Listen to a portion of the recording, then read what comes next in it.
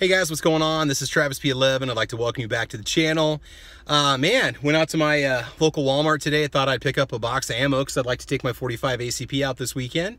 And uh, lo and behold, most of the pistol ammunition is, is pretty much picked over pretty good. Um, so apparently, I guess, you know, Walmart's not going to be restocking that pistol ammunition. They're not going to be carrying any more handgun ammunition.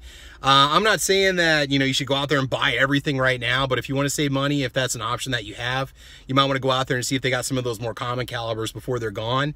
And uh, I don't know if this ammunition that they're going to quit carrying, if they're going to get into like 5.56 and 300 blackout and stuff like that. But uh, shells are looking pretty thin. I wasn't very happy about that. Um, you know, for a lot of us that live in rural areas, a lot of us that are law-abiding citizens, when it comes to buying ammunition, you've only got about four options. Uh, you can roll your own, okay?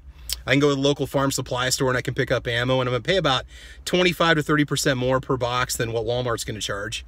Um, I can order in bulk online, which is what it looks like I'm gonna have to do now, or I can go make an 80 mile round trip to the sporting goods store. So if I need a single box of 44 mag or maybe a 38 special, and I used to always be able to get it at Walmart, it's gonna disappear.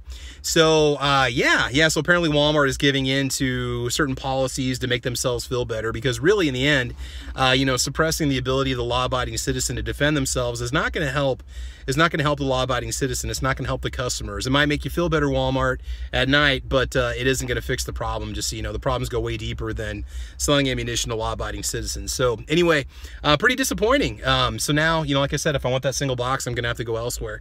And uh, anyway, you know, for those of us that live in a rural area, we don't have a lot of choices. But uh, otherwise, that's it. So if you guys go out to your local Walmart and you don't find a lot of handgun ammunition on the shelves, just understand that the policy is going to be to not, uh, not, I don't know if they're going to restock. They might restock tonight. They're going to put out what they have, and then it's going to disappear. So start looking into some online sales if you can. If you can't buy online, uh, man, I don't know what to tell you. You might want to start looking into reloading. So anyway, guys, that's it. I want y'all to take care, have fun, and uh, guys, I want y'all to be safe get out there and get your ammo. You might want to start stocking up if you got the local Walmart. Um, otherwise, I think that's about it, guys. I'll have fun, be safe, and uh, we will talk to you soon, all right? Okay, take care. Bye-bye.